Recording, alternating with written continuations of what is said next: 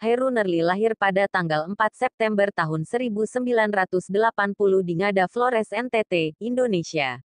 Ia adalah pemain sepak bola Indonesia asal Nusa Tenggara Timur yang malang melintang di banyak klub sepak bola Indonesia. Ia berposisi sebagai penyerang sayap atau bisa juga sebagai gelandang bertahan.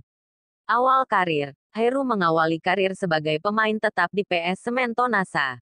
Kemudian, Heru selanjutnya memulai karir sepak bola profesionalnya pada tahun 2004 bersama Persisam Putra Samarinda yang saat itu berlaga di Divisi 2 Liga Indonesia. Heru tercatat pernah membela sejumlah tim besar seperti Persipura Jayapura, Persija Jakarta dan PSM Makassar serta Semen Padang. Di Persipura boleh dibilang puncak karir Heru meski hanya satu musim membela tim kebanggaan masyarakat Jayapura dan Papua itu.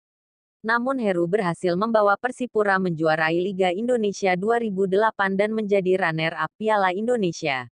Dipanggil ke Timnas Indonesia.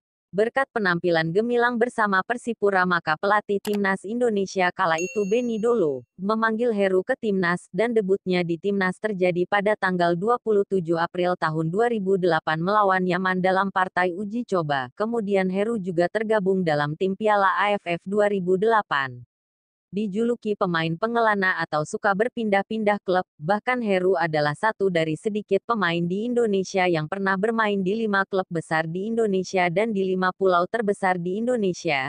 Demikian sepenggal kisah tentang Heru Nerli. Jangan lupa like, komen dan subscribe. Sekian dan terima kasih.